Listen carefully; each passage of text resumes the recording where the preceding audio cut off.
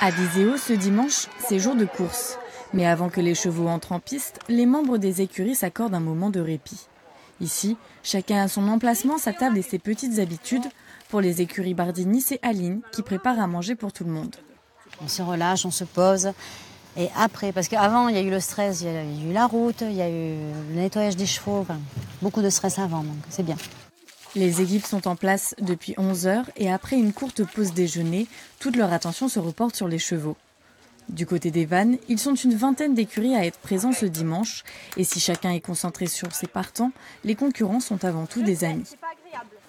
Quand on a besoin d'un coup de main ou d'un conseil, on est toujours là. C'est ça qui est important.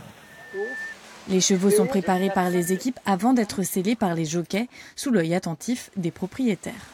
Le tout, c'est qu'ils arrivent à le détendre, qu'ils respirent bien. Pour eux, l'amour des chevaux est indispensable, mais c'est avant tout l'adrénaline de la course qui les fait vibrer. C'est une grande réunion par rapport au, Grand Prix. Et puis il y a 15 jours, j'ai des chevaux qui n'ont pas trop bien couru, qui ont eu des problèmes de santé. Donc on a soigné, ça a l'air d'être entré dans l'ordre, mais bon, on a toujours un petit peu d'appréhension. Le cheval est souvent une histoire de famille. L'hippodrome a accueilli sa première course en 1928.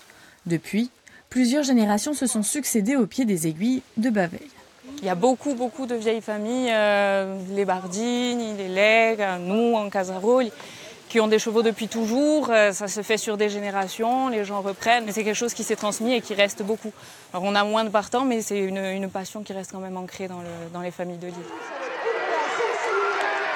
Et sur la piste, tout ne se passe pas toujours comme prévu. On a eu un souci avec les chevaux, je pensais que ça allait, et ils ont mal couru, les deux ont mal couru. Donc je m'inquiète pour la suite de la réunion. Mais les efforts ont fini par payer pour l'écurie Bardini. Durant ces deux dernières courses, les partants ont fini 3 et 2e.